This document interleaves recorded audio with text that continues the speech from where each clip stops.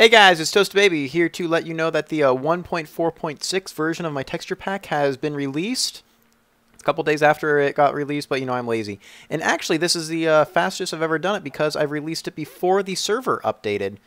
Because I tried updating, well, the beta build is out, but they introduced a new feature on the uh, server software that it does a check for all the plugins that you have installed to make sure they're like stable or whatever. So that so it's going to be more difficult than just copying and pasting over the plugins, which has worked before for the same versions. Because I tried doing that, and I got 43,000 lines of error codes in three seconds. So now the uh, server log is almost 23 megabytes, which is, I think, just past 300,000 lines of text. So anyway, um, just letting you know that the texture pack is updated. It's the same before, but I added two new things.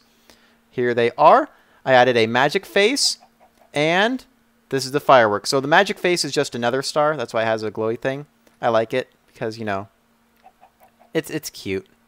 It's a mad. It's a look at that face. It's an awesome face. How can you not like that? And also, this is the firework rocket. It's a giant, just a, a hairy black dick.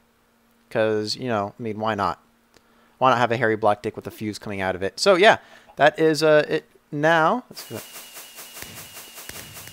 wee. That's my portcullis store. Anyway, wee. So yeah, the uh, texture pack is updated. Servers will uh, update I'll actually make a video whenever those update because I have to wait for all of the uh, plugins to update. And since I use Essentials, it takes them forever because normally they only release builds for recommended builds, but there haven't been those since hell 1.3.